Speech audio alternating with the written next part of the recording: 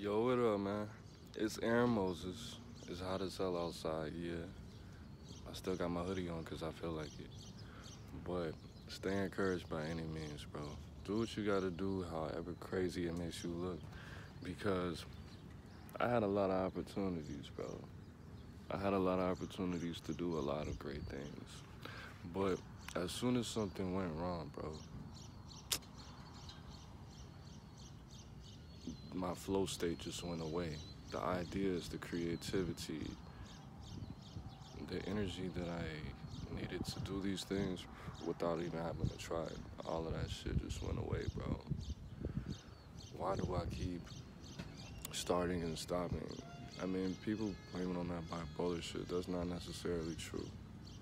Not necessarily. It's because fear is a powerful thing, bro. How you think we got so far? They got so far and controlling us so easily.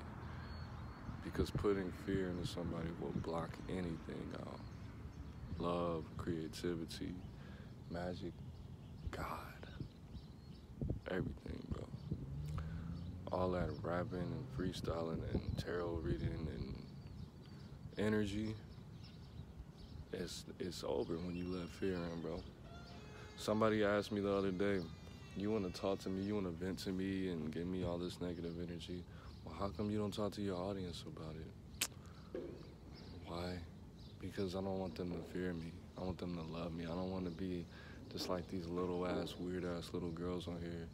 Oh my God, everybody keeps cheating on me, and everybody keeps, bro. I don't. Nobody get, really for real. Nobody gives a shit, bro.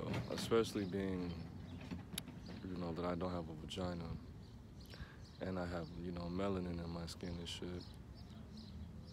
I'm just looked at as a, a dildo with a fucking wallet. A beast. So, not only will that turn people off and dry vaginas up,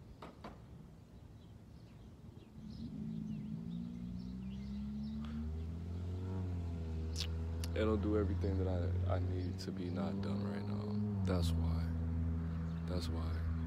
Because if anybody's gonna give me any energy, it needs to be positive or sexual or loving, not fucking weird ass negative energy that I don't really have control over. People already do that all the time anyway. I act like a weirdo. Not necessarily a weirdo, but I act like it. And I stay in my bubble. I know what the fuck I'm doing, but sometimes I don't. I'm waiting on this Uber trying to go home. I just wanted to give you that. Just use me as an example. A fucking loser. A loser.